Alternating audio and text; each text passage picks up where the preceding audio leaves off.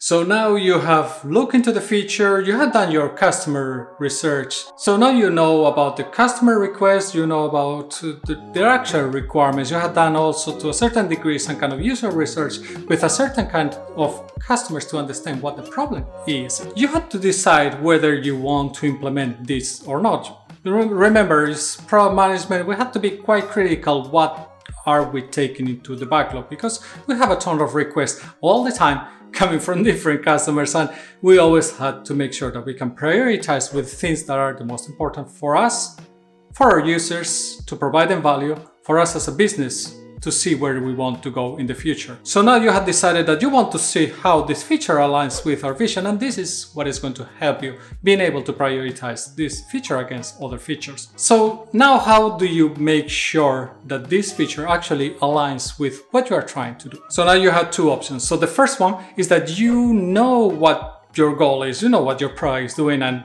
you know basically what the strategy to get there is. So this feels like a good feature to have in your feature set. So you think that this makes sense for you to get it into the product and make sure that we deliver it to our customers. So you go ahead and decide to move towards product execution. So go, you go ahead and start building this feature in the product. Or you have Number two, you go ahead and you look into what is your product vision. Hopefully you have defined that in the past and what is your product strategy.